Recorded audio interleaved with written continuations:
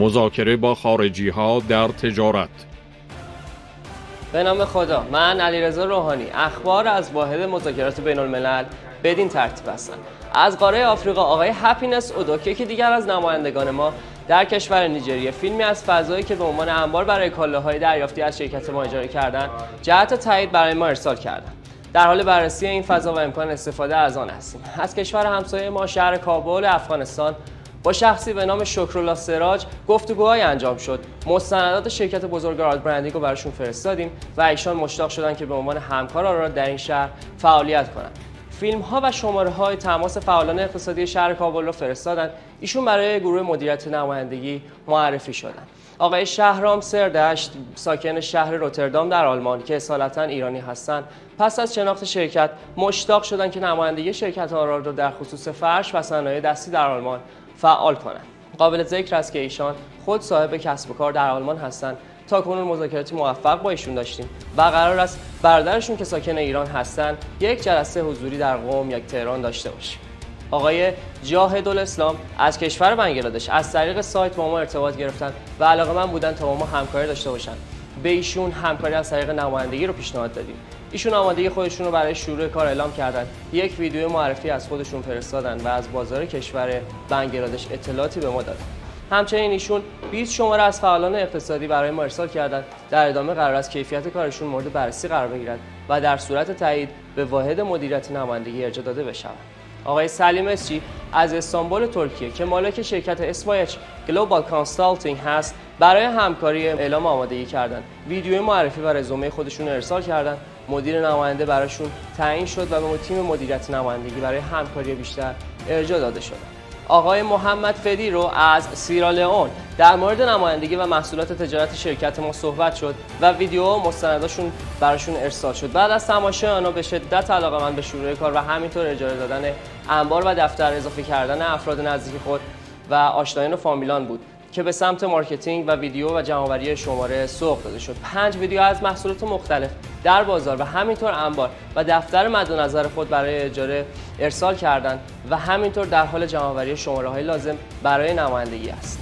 چندین روز قبل آقای ابوکا از کشور نیجریه برای نمایندگی آراد برندینگ فیلمی از فروشگاهش برای ما ارسال کردند روز گذشته فیلم کاملی از دفتر محل نگهداری کالاها و فروشگاهشون ارسال کردند که برای کار با آراد برندینگ ازشون استفاده کنند. در حال مذاکره در مورد نحوه همکاری هستیم که اگر به نتیجه برسیم به تیم مدیریت نمایندگی ارجاع داده میشن. آقای رولند نماینده آراد برندینگ در پایتخت نیجریه ایشون ویدیوهای از دو محل متفاوت برای ما ارسال کردن که قصد دارن در این محل ها که در یکی از مراکز تجاری ابوجا قرار دارن دفتر آراد برندینگ رو راه اندازی کنن ویدیو، لوکیشن و اطلاعات این موارد رو ارسال کردن و همکنون در حال بازسازی و دکور این دفاتر هستند. آقای محمد احتشام نماینده دیگری از ما در دوبی با یک وارد کننده وارد مذاکره شدن و موفق شدن که سفارش بارشون رو از آراد برندینگ داشته باشن.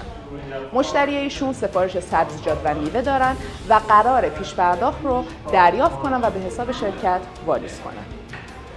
و آقای لوکاس از کشور اندونزی صاحب کارگاه تولید زنجبیل که بیش از 100 کارگر در کارگاهشون مشغول به کار هستند برای ما چند ویدیو از محیط کارگاه راجع به چرخه تولید و طرز خوش کردن زنجبیل و در انتها نحوه بارگیری برای ارسال به مشتری رو ارسال کردن در ادامه نیز کاتالوگی شامل قیمت و کیفیت محصول به همراه جزئیات بیشتر ارسال کردند و تمایل به همکاری دارند.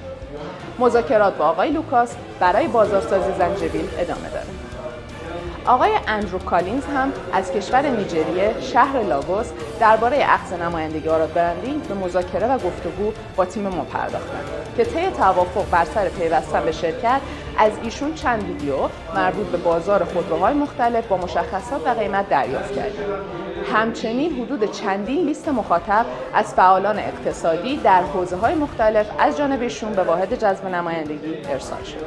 آقای الله بلموت علی از نمایندگان جدید ما در کشور امارات هستند و ایشون بعد از ارسال فیلم اولیه برای ثبت نام اولیه خودشون به جمع ما پیوستن و بعد از ارسال لیست قیمت از محصولاتی مانند حوزه مواد غذایی و پارچه ها فرآیند ثبت نام خودشون رو تقریبا تکمیل کردن و ما منتظر نهایی کردن قرارداد ایشون هستیم.